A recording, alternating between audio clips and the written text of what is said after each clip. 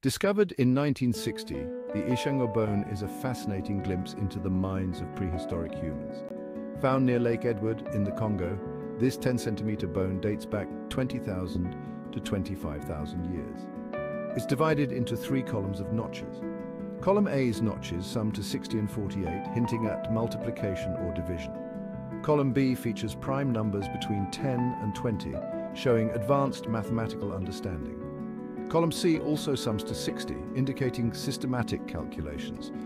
The Ishango bone could have been a counting tool or even a lunar calendar, reflecting early astronomical observations.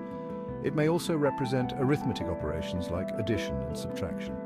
This artifact reveals early abstract thought, cultural complexity and possibly astronomical knowledge. The Ishango bone is a testament to human ingenuity, offering a unique window into our prehistoric past.